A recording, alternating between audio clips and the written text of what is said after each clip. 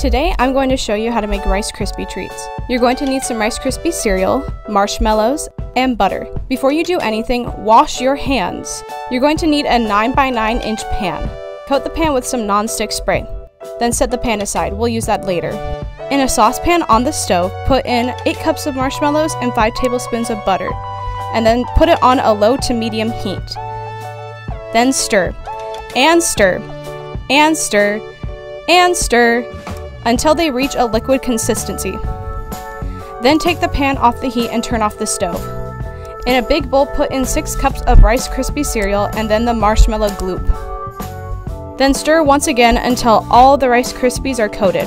Then in your 9x9 inch pan, put the mixture in and spread it out. Then put it in the fridge to chill for 30 minutes. I hope you enjoyed this video and stay safe out there.